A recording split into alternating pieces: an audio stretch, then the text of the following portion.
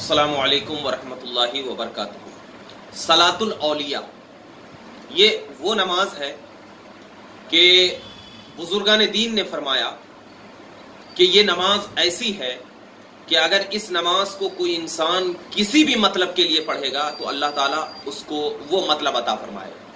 یہاں تک فرمایا گیا کہ اگر کسی خدا کو، کوئی شخص خدا کو چاہتا ہے یعنی یہ چاہتا ہے کہ مجھے خدا مل جائے تو اس نماز کے ذریعے اسے خدا بھی مل جائے۔ کوئی مال حاصل کرنے کے لیے پڑھنا چاہتا ہے تو مال مل جائے۔ کوئی اولاد کے لیے پڑھنا چاہتا ہے تو اولاد۔ یعنی میں بتانے کا مقصد ہو کہ جو بھی جائز مقاصد ہوا، اگر اس مقصد کو حاصل کرنے کے لیے یہ نماز آپ نے اگر پڑھا، تو انشاء اللہ تعالیٰ وہ جائز مقاصد آپ کے پورے ہو جائیں گے۔ امام زاہد رحمت اللہ تعالی علیہ، جن کا نام پورا امام زاہد احمد ہے انہوں نے فرمایا کہ میں نے اس نماز کو حضرت خضر علیہ السلام سے سیکھا۔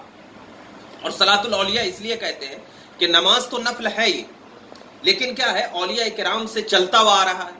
تو ایک ولی نے دوسرے ولی کو عطا کیا، دوسرے نے تیسرے کو عطا کیا، تو یہ انہوں نے عطا کیا، تو اس کو اس لیے یہ سلاۃ الاولیاء کے نام سے مشہور ہو گیا۔ اصل میں یہ نفل ہی ہے اور نفل عبادت تو کرنا ہی ہے، حدیث سے بھی ثابت ہے۔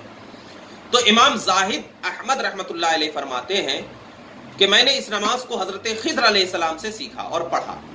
پھر فرمایا کہ میں نے خدا کو طلب کیا تو میں نے خدا کو پا لیا۔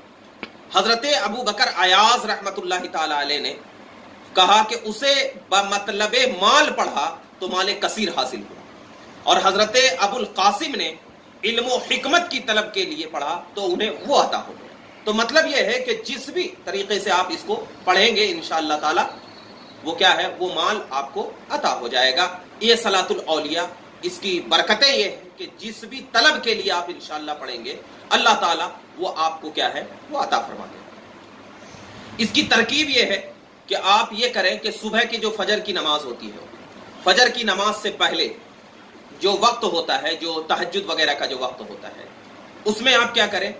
دو رکعت سلاۃ الاولیاء کی نیت کرے۔ یعنی اس طریقے سے کرے کہ میں نے دو رکعت نماز نفل سلاۃ الاولیاء کی نیت کی، واسطے اللہ تعالیٰ کے منہ میرا کعبہ شریف کی طرف اللہ اکبر۔ یہ پڑھنے کے بعد، یہ نیت کرنے کے بعد اللہ اکبر کہنے۔ اور اللہ اکبر کہنے کے بعد سنا پڑھے۔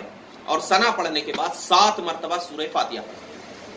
اور سات مرتبہ سورہ فاتحہ کے بعد ایک مرتبہ سورہ کافرون یعنی کلیا ایوہل کافرون پڑھے۔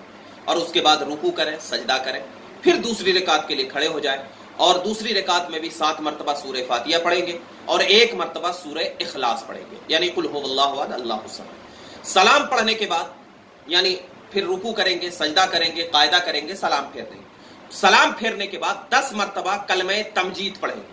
کلم تمجید کون ہے؟ سبحان اللہ والحمد للہ ولا الہ الا اللہ واللہ اکبر ولا حول ولا قوت الا باللہ العلی العظیم۔